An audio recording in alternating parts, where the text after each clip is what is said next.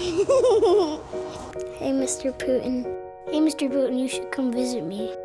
Hi, Mr. Putin. Hey, Mr. Putin. Hi, Mr. Putin. Hey, Mr. Putin, can you do this? Look, Mr. Putin, I have a Putin doll. I think it was really bad that Russians banned adoption. Russia slams the door. It affects so many Americans hoping to adopt. Families now wondering if they'll ever get to see that child again.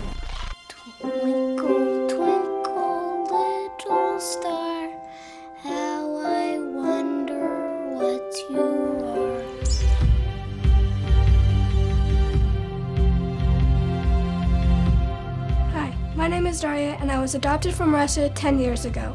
My name is Paris, and I'm adopted from Russia. I was adopted from Russia three and a half years ago. Nine years ago.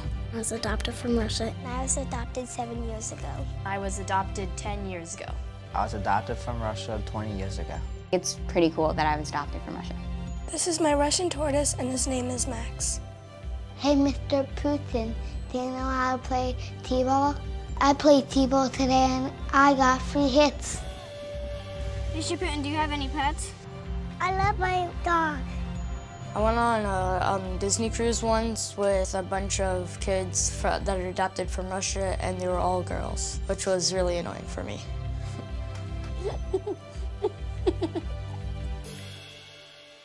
My name is Tatiana, and I'm seven, and I am adopted from Russia.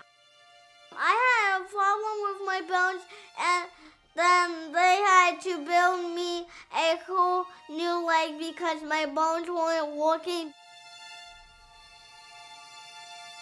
When we brought her here, it was a matter of months before she had a new leg and was walking. My family loves me because it's not just my leg, it's what you are.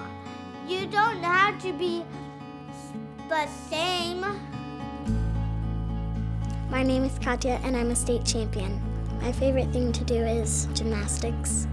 I've been doing gymnastics for eight years. I went to state championships and I went on uneven bars and I won first place. These are the medals that I won at the state championship. Institutions can give children a lot of the things they need, like food and medicine, but there are two things that only the family can give, and that's love and that's hope. I went to Russia, I met my child, and now I can't bring her home. When I first saw her, where we really connected, she was sitting in my lap and she sat with her legs wrapped around my waist and put her hands on my cheeks. It's heartbreaking because I think that Oksana probably is wondering where I am. It seems very senseless.